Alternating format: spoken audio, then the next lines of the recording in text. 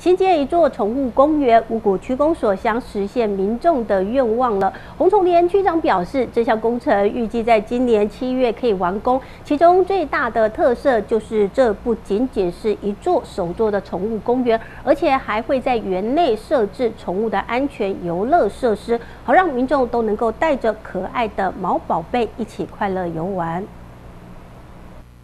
许多民众都有饲养宠物，有时候想要带心爱的毛宝贝到附近玩耍，都鲜少有适当安全的场所。五股区公所了解地方民众的需求，争取在下绿地环保艺术公园里新建宠物公园。每一个毛小孩，他都有一个很好的一个活动的地方啊。我们五股刚好是欠缺这个这种地方，所以我们今年哦，特别在我们的下绿下绿地里面的新乐园。哦，新乐园那边我们成立一个宠物公园。五股区长洪崇典表示，这将是区内首座宠物公园。园区四周设有护栏，可防止宠物乱跑。园内也会设置宠物的游乐设施。工程预计七月完工登场。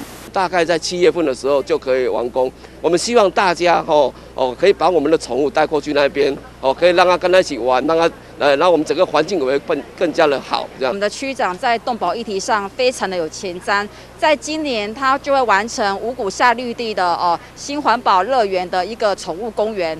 动保处长杨淑芳表示，五股首座宠物公园完工后，四主们就有一处可以携带毛宝贝一起安全玩耍的场所。